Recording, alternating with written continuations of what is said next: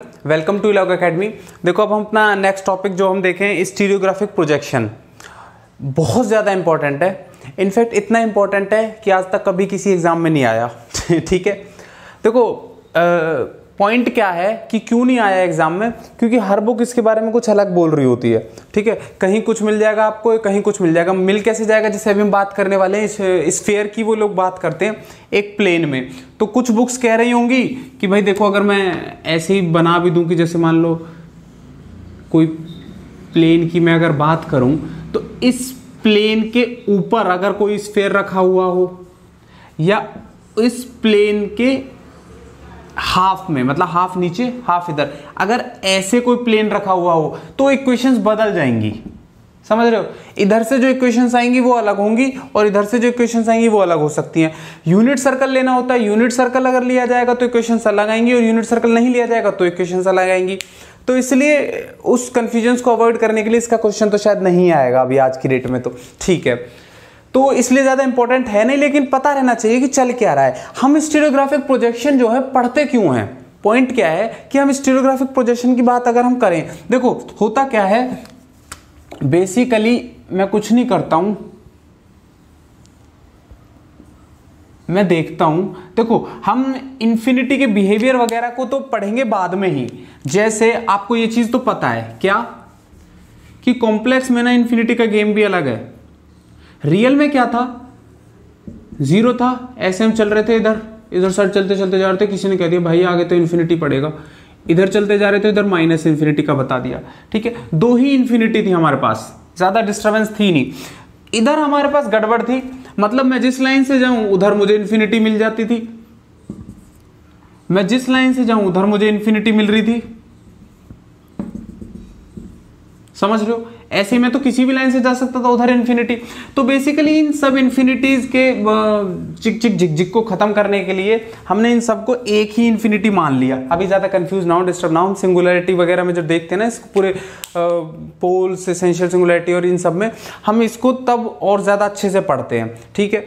ठीक है तो अब देखो, क्या था? अब इसी चीज़ को अवॉइड करने के लिए, अब आप इस चीज़ को ऐसे समझ सकते हो, जैसे प्लेन है ना, ठीक है? जैसे ये तो मेरा एक्स एक्सिस है, ये वाई एक्सिस है, एक और भी था इसमें एक और भी क्या था? ये जेड एक्सिस मान लो आप इसे, ठीक है ऐसे। ये x, ये y और ये z एक्सिस ठीक है? अब देखो, हो क्या रहा था कि एक जैसे बैग, आप बैग टाइप मान के चल लो, मेरे पास नहीं है बैग, ठीक है? आप जैसे चादर टाइप ले लो, जैसे जो भी है, आप इस कोने से, जैसे ये थी, मैंने इस कोने से यहाँ एक पॉइंट पॉइंट कुछ नहीं था, बस यहाँ पे मेरे को पूरी पूरी चादर पकड़नी थी, ठीक है? जैसे इस कोने से मैं इसे लेके मैंने इस हाथ में दे दिया, उधर वाले सिरे को, कोने को इधर दे दिया तीसरे वाले को इधर ले आया इधर दे दिया, चौथे वाले को इधर। तो मेरे पास ये एक पॉइंट आ गया इधर। मतलब जिन पर चारों के चारों जो बाउंड्रीज थी, चारों क्या मतलब इधर वाली भी तो इधर ही आ गई ना बेसिकली सब इधर आ गया।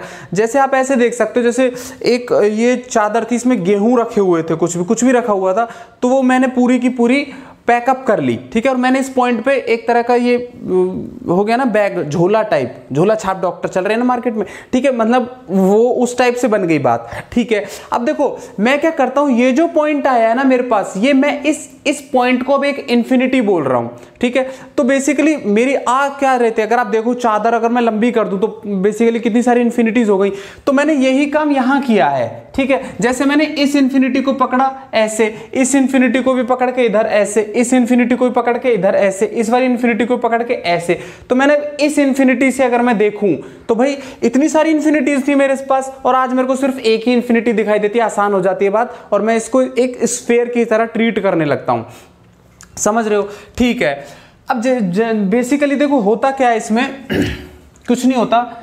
एक ये एक ये एक्सिस और तीसरा, इधर जो एक्सिस अभी दिखाया गया था, उसे मैं अभी यहाँ पर मान लेता हूँ। ठीक है?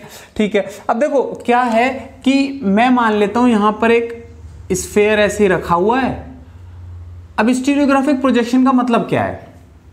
ये कहती है, कोई भी पॉइंट जो मेरे प्लेन में होगा ना, उसको मैं प्रोजेक्ट किया जा सकता है, उसको मैं प्रोजेक्ट कर सकता हूँ इसके किसी ना किसी प्लेन पर। मतलब जैसे कोई भी मैं यहाँ से पॉइंट ले लूँ फॉर एग्ज़ाम्पल ये था मान लो तो यहाँ से मान लो जैसे ये इस स्फेयर पे मान लो यहाँ था तो मैं इधर से आया ये लाइन ऐसे, ठीक है?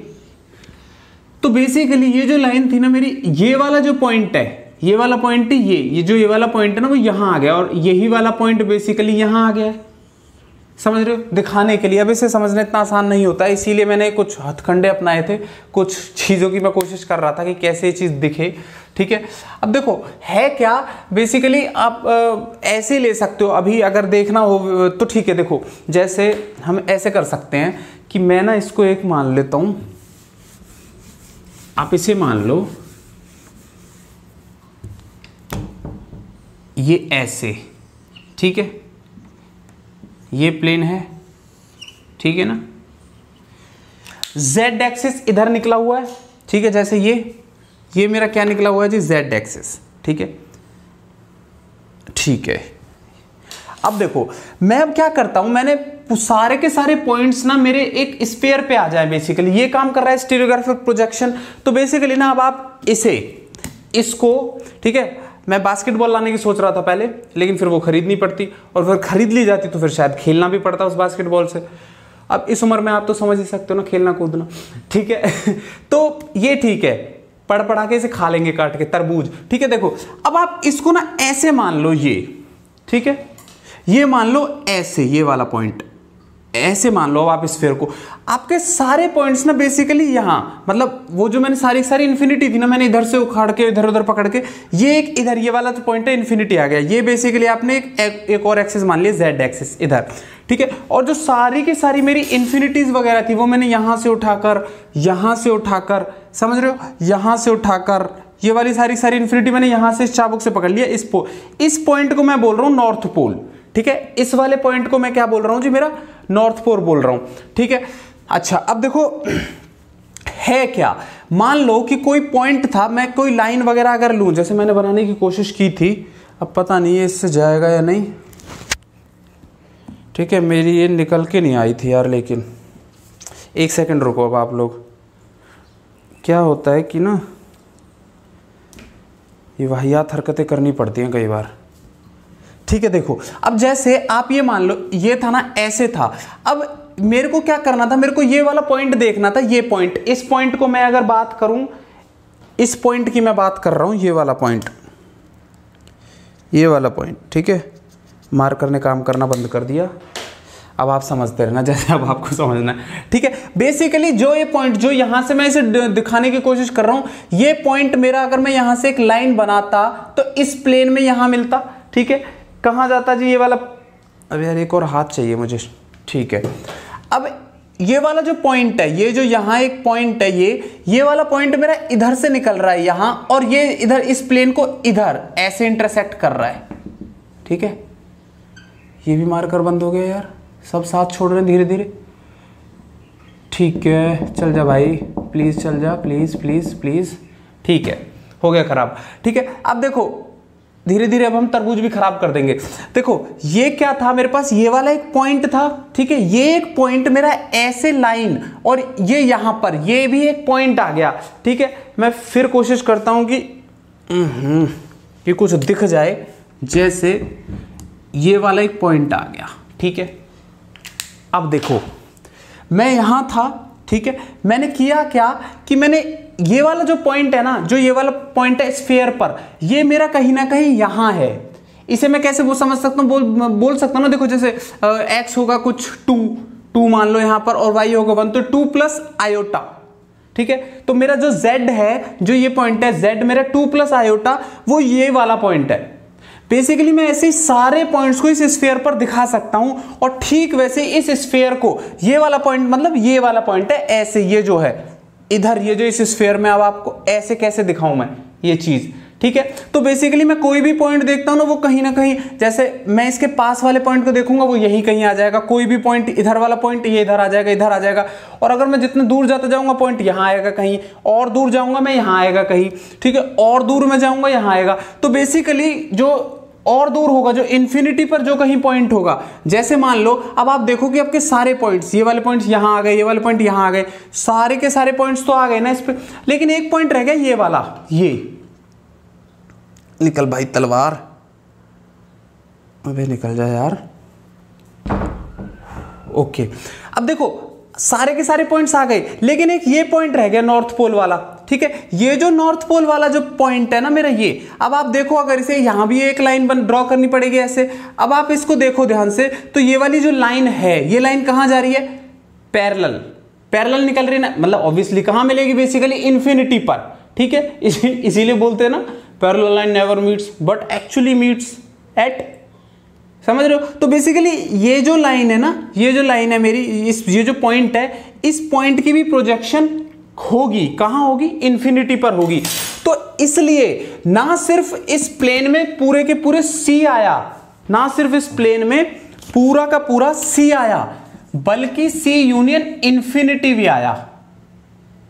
ठीक है? और ये जो इंफिनिटी ऑब्वियसली इसमें सारी सारी इंफिनिटीज हैं। तो बोल देते हैं कुछ लोग कि एक ही इंफिनिटी है। ठीक है? यही। तो अब इस प्लेन को एक्सटेंडेड कॉम्प्लेक्स प्लेन के नाम से भी दुनिया बुला रही है। बुलाते रहने दो दुनिया को।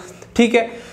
ठीक है तो बस बात सिर्फ़ इतनी सी है कि इस स्फेयर का रक्षा भाई, ठीक है, इस स्फेयर का, भाई, इस स्फेयर का हर पॉइंट मैं यहाँ दिखा सकता हूँ प्रोजेक्ट कर सकता हूँ, और ठीक वैसे ही हर पॉइंट मतलब जो भी मेरा जो भी मेरा पॉइंट इधर है, मैं उसको स्फेयर पर प्रोजेक्ट कर सकता हूँ, ठीक है। वन वन कॉरस्पॉन्डेंस बेसिकली दिखाई जा सकती है। बस इतनी सी बात है स्टीरियोग्राफिक प्रोजेक्शन में। और तो कुछ इंपॉर्टेंट है नहीं। मतलब क्योंकि एग्ज़ाम में नहीं आएगा तो क्या ही है। लेकिन आप देख सकते हो डेरिवेशन वगैरह एज यूजल हमने छोड़ देनी है। ठीक है? देखो द पॉइंट टी बहुत इंपॉर्टेंट है इसमें। The point z is equal to X plus iota Y to the point this ये पॉइंट होंगे। मतलब बेसिकली कोई भी जेड आप पॉइंट उठा लो, ठीक है? ये कॉम्प्लेक्स नंबर z होगा तो स्फेयर में वो कौन सा पॉइंट बनेगा? वो ये वाला पॉइंट बनेगा। Two X upon X plus Y square plus one two Y upon X plus Y square plus one X plus Y square minus one upon X plus Y square plus one ये वाला point plane में sphere में आ जाएगा। अगर x Y अगर ये जो point है मेरा जेड ये मेरा प्लेन में है। ठीक है? होगा कब ये? जब X square plus Y square plus Z square equal to one होगा। ये चीज़ भी इंपॉर्टेंट होगी कि यूनिट सर्कल अगर यूनिट सर्कल ना होता तो? तो भी कोई ऐसी कोई वाहियात बात तो कुछ आ नहीं जानी थी, बस हमें फिर उसी हिसाब से कोऑर्डिनेट डिफाइन करने थे। एक्चुअली जब हम डेरिवेशन करते हैं ना तो इसी के हिसाब से चलते हैं हम। जो भी हमारा वो होगा one one zero zero zero one कुछ इस हिसाब से, ठीक है? तो डेरिवेशन तो हमने करनी नहीं, ठीक है? तो ये चीज़ क्लियर है। अब अगर मान लो कोई स्फेयर का पॉइंट हो, फिर उससे आप कॉम्प्लेक्स नंबर निकालो। तब एनी पॉइंट दिस मान लो अब xi one xi two xi three on the sphere ठीक है corresponds to the complex number this xi one plus iota xi two upon one minus xi three ठीक है? तो इससे कॉम्प्लेक्स नंबर आ जाएगा। लेकिन हमने निकालने तो है ही नहीं तो इन्हें तो याद भी नहीं करना नहीं तो देखना भी नहीं है, ठीक है? जो काम की चीज़ थी वही यही थी कि मैं किसी भी प्लेन के पॉइंट को मैं अपने स्फेयर पर दिखा सकता हूँ बेसिकली और किसी भी स्फेयर के पॉइंट को मैं प्लेन पर दिखा सकता हूँ। लेकिन जो मेरा नॉर्थ पोल हो गया जो मेरी सारी की सारी आ, मैंने बैग बनाया और जो मेरे पास एक इन्फिनिटी आ गया मैंने सारी की सारी यहाँ से मैंने पकड़ा इन सबको पकड़ा तो मेरा ये ये मेरा पॉइंट आ गया जैसे मैंने बैग का वो पॉइंट था। तो ये जो है ना ये मेरा नॉर्थ पोल ये मेरा नॉर्थ पोल इन्फिनिटी पर जाकर मिलता है बस। तो मैं बोल देता हूँ कि ये पूरे के पूरे जो पॉइंट्स है ना बेसिकली मैं उन्हें इस प्लेन में दिखा सकता हूँ इस तरबूजे पर दिखा सकता हूँ और जो तरबूजे में जितने भी सारे बीज इसमें तो नहीं होते ना खरबूजे में होते हैं ठीक है जितने भी इस, इस तरबूजे में पॉइंट्स होंगे मैं उसे प्लेन में दिखा सकता हूँ लेकिन एक पॉइंट के साथ दिक्कत हुई थी मेरा नॉर्थ पोल ठीक है मेरा नॉर्थ पोल और बाउंड्री किसे बोलते हैं? Mod Z equal to one जो सर्कल की जो बाउंड्री है ये चीज़, इसको बोल देते हैं इक्वेटर ठीक है? तो देखो, बस नॉर्थ पोल में दिक्कत हुई थी तो नॉर्थ पोल को मैं कहाँ रिप्रेजेंट कर रहा था? इस स्फेयर के नॉर्थ पोल को। वो भी प्लेन में गया, लेकिन वो एक्सटेंडेड कॉम्प्लेक्स प्लेन में गया। उसे सी यूनियन इंफिनिटी बोल देते हैं। बस काम की चीज़ यही थी। और अब आप भी खाओ। Thank you for watching